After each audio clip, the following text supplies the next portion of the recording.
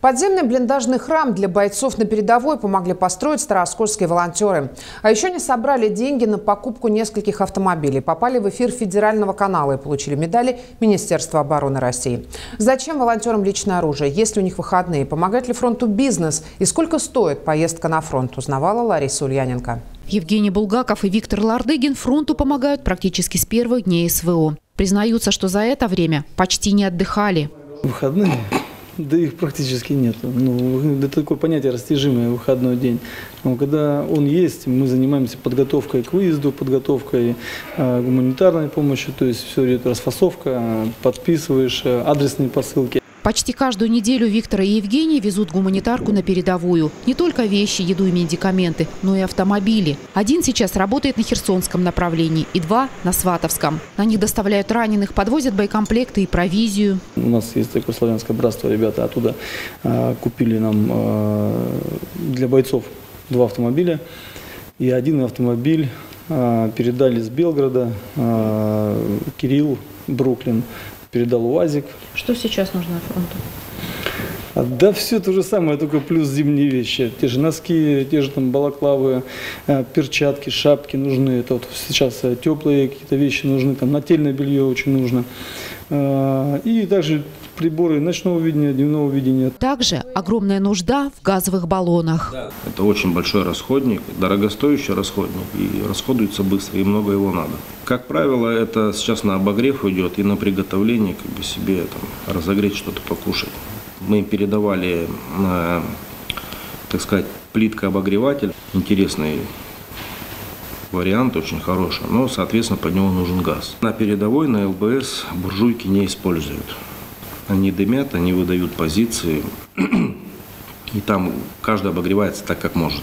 Как может, помогает тыл. Но поддержка города и силу фронту разная. Горожане чаще переводят деньги или покупают что-то в магазинах. А деревенские жители обычно передают то, что сами вырастили, домашнюю консервацию. Когда идет, допустим, там э, сбор урожая, то есть они там, конечно, там грузят прям тоннами просто вывозишь. И все это привозишь к бойцам. У нас есть э, ребята активные, они помогают настолько, вот они вчетвером просто могут перекрыть все потребности, которые, в которых наши бойцы нуждаются нуждаются на самом деле. И это дорого стоит, потому что таких людей очень мало.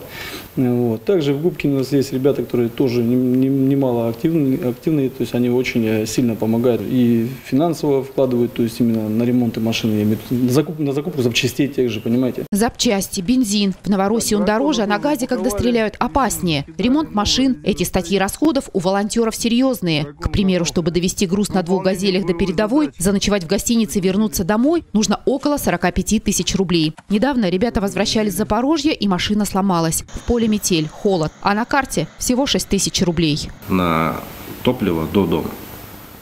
И все. А эвакуатор, когда мы обратились к эвакуатору, изначально у нас запросили 45 тысяч рублей за доставку э, автомобиля до Старого Оскола. Потом, когда эвакуаторщик приехал, выяснил, кто мы и что, он снизил до 35. Но опять же, эта сумма была великая. Виктор опубликовал в соцсетях экстренный сбор. Первыми откликнулись бойцы с передовой. Подключились и староскольцы с губкинцами, Дальний Восток, Москва. В итоге собрали 106 тысяч. 35 тысяч отдали за эвакуатор. По 50 тысяч мы от двух групп с Рашитовым Дмитрием скинулись на приобретение контрактного двигателя на этот автомобиль. Остальные деньги все я потратил на блиндажный храм, то есть на приобретение инструмента и всего прочего. О том, чтобы помочь достроить блиндажный храм, оскольчан попросили военные. 1550 человек. И как, ну как отказать? Не имеем права. Интересная история. Это ребята Сватово криминальное направление – обратились помочь им достроить. Они своими силами все, что могли, построили. Большой храм, ни дверей, ничего в нем нет. А стены надо было еще обшить, утеплитель нужен был. Инструмента не хватало, дизельная подстанция нужна была. Ну, на данный момент, буквально два дня назад я отгрузил. Закрыли мы все эти вопросы.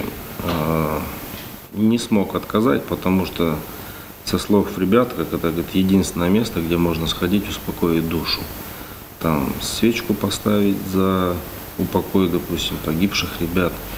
Все за здравие сходить, сходить, помолиться. В сборе на подземный храм и медикаменты помогли двое депутатов облдумы и коллектив больницы Луки Крымского. Они всегда в строю, наверное, с первых дней с нами. И вопросы тяжелые тоже закрывают. За что всем большое спасибо. И также наш храм в селе Куни, которое находится, помогли в приобретении фанеры, передали свечи церковные, иконы передали. А бизнес помогает, крупный бизнес? У нас есть э, ребята, вот у них группа своя, которая «Славянское братство». Они, мы пытались пригласить их на встречу, они сказали, мы в тени, мы без имен, в тени, мы, нам это не надо, мы не ради этого делаем. Крупный бизнес э, непосредственно в помощи, ну, я бы не сказал, что помогает.